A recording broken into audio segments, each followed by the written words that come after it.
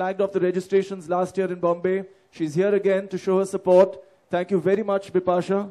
We'd like a few words from you about your involvement with the Pinkathon. Good afternoon, everyone. Well, Devika's story is truly inspirational. Um, it's so important. Life is so precious. And uh, we as women, in different roles, whether we are mothers, wives, daughters, uh, you know, we kind of bind the house together. It's so important to love yourself. You know, this philosophy that I talk about, I've learned it from my own mother. And we kind of, you know, being taught from the time we are born, we are taught to be givers. We kind of somewhere forget ourselves. It's very important for each and every woman to realize that they are precious to their family, that they should be precious to themselves. You know, life is so important. So it's very important to look after your health for a woman. They have to be aware. And I really have to thank, you know, causes like Pinkathon. I want to thank Maximus, Milind, Devika, everyone who's involved in this event, uh, because it's just doing so much for us, all of us. Um, I want as many women to come out and run on the 15th of December for Pinkathon. And uh, a very important part, especially, you know, you guys present out here as the media can play in taking the word out, you know, spreading the word more and more.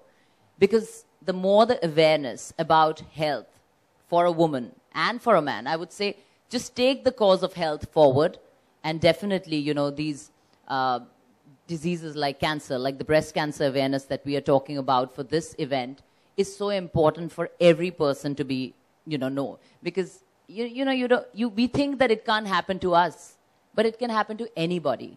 So you have to be careful. And um, I can just say, uh, you know, all the very best to the entire team. And uh, may Pinkathon happen in each and every city of India soon. Thank you. Thank you so much, Bipasha. We are lucky to have you as a participant in the Pinkathon, please take the, your bib from Bipasha. The 10,000th woman who will run in the Pinkathon across India. We are very, very proud to have her here with us today.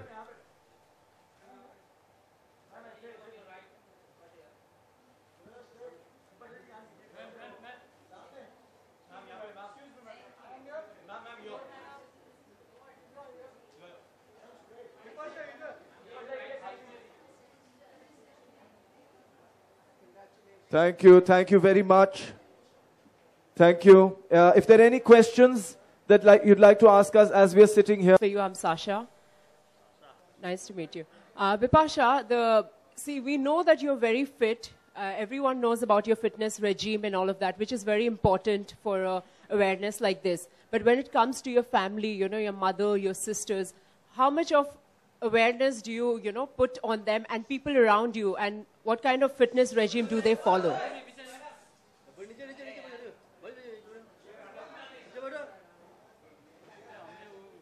Well, the well, the it's not working. Working? Yeah. Uh, well, the philosophy of love yourself that I follow and I preach and I talk about very strongly has come from my mother. Uh, she has looked after three uh, daughters, uh, including me. We are three sisters, and uh, Yet, you know, she's a homemaker, she provides for us, but she always looks after her health. You know, I've seen this and I've learned it from my own mother.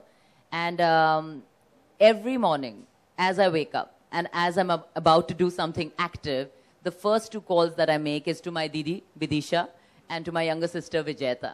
So definitely it runs in the family. I uh, consciously talk to them. And um, I have to say at times it's tough because everybody takes your life a little bit for granted my older sister has got rheumatoid arthritis, and I have got osteoarthritis. And um, it's not easy, you know, to have these uh, problems at a very young age, and yet, you know, to be fit. But every day I motivate myself. I try to motivate as many people around me, my friends, people I meet in the gym, people I meet at work. And um, it's just a constant thing for me. It's uh, something that makes me happy to see a person get fitter in front of my eyes, looking after themselves, so for me, it's just a way of life now. Thank uh, you so much. Uh, Bipasha, we have a lot of movies made on AIDS in our industry, but not a lot on breast cancer. So what do you think is the reason behind it? And if at all there is a movie made, would you like to act in one such movie? Well, uh, films are topical, and yes, they carry the message very strongly. Uh, if there is a film like that, and if the story is good, I would definitely love to be a part of it. Milind, this question is for you. Actually, I was just going through the post that you, um, you know, tweeted on Facebook about, you know, thanks and all of that you've written. And we can see a lot of feedback coming in, and people are actually talking about 2014, you know, like March. Uh, when can the Pinkathon be? You know, is it on 9th or 8th? Would you want to talk about that, please? Yes, I'd like to say that it is really, as, as Bipasha mentioned also, that films are made on topical issues. And I think that um, maybe we've done our, our bit so far. We're trying to do whatever we can. And I think there are more and more people talking about this cause today across the country. I mean, it's become really something that people don't ignore anymore, we, we, we hope. So, of course, when we spoke about the Pinkathon, now I get calls probably every day from different cities. I just got a call while I was driving here from Nagpur saying that we want to do the Pinkathon in Nagpur. And how can we do this? And, you know, how can we raise the funds for it? And, and what is the procedure? And I said that, unfortunately, uh, we can't do as many cities as we'd like to right now. Because, we, of course, we need support from sponsors. We need support from the local population.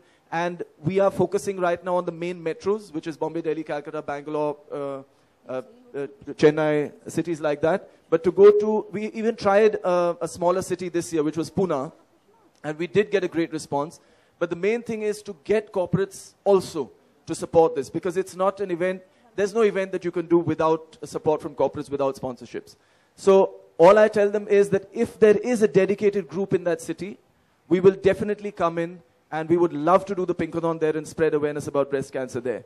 In fact, just thinking about the fact that we should go to uh, smaller towns and smaller cities and uh, activating groups in every city, because of course, if Maximus were to do it, or I were to do it, or even HCG were to do it, or WCI, there is a certain limit to what we can do on our own. So, uh, we did another event as an experiment called Mega Pink.